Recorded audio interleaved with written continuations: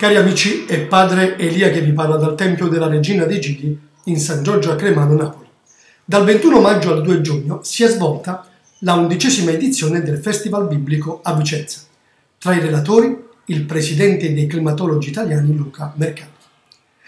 Mercalli ha illustrato al pubblico vicentino un panorama piuttosto inquietante, perché ha detto non c'è un pianeta di riserva e non è solo un problema di clima, ci sono questioni come l'acidificazione degli oceani, il buco dell'ozono, lo squilibrio dei cicli dell'azoto e del fosforo, la carenza di acqua dolce, il consumo del suolo, le deforestazioni nelle zone tropicali e la cementificazione nei paesi occidentali, la perdita della biodiversità, particolarmente grave perché è irreversibile.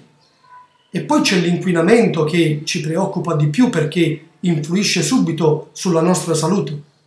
Mangio, bevo, respiro materiali tossici, mi viene il cancro, la grande epidemia dei nostri tempi.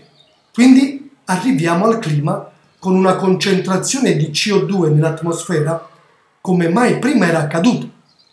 È come avere l'esame del sangue con la glicemia su valori insostenibili o ci si mette a dieta oppure è diabete sicuro.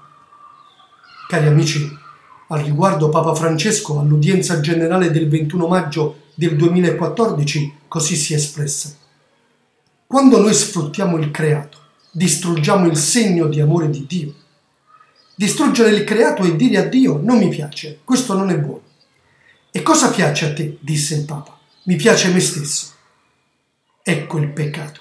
Avete visto? E la custodia del creato è proprio la custodia del dono di Dio e anche dire a Dio grazie, io sono il padrone del creato, ma per farlo andare avanti non lo distruggerò mai, non distruggerò mai il tuo dono. E questo deve essere l'atteggiamento nostro nei confronti del creato, custodirlo, perché disse il Papa, se noi distruggiamo il creato ci distruggerà. Cari amici, ringraziamo Dio per il dono che ci ha fatto della vita, del creato e chiediamogli con umiltà che crei in noi un cuore puro, libero dalla contaminazione del peccato per poter essere custodi e non distruttori del creato.